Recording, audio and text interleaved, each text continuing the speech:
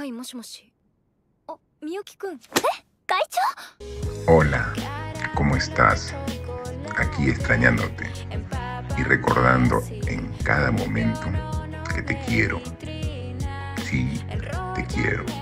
Ya pronto estaremos juntos. Falta tan solo una semana.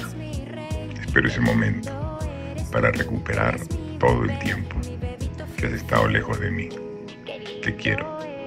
Un beso muy grande.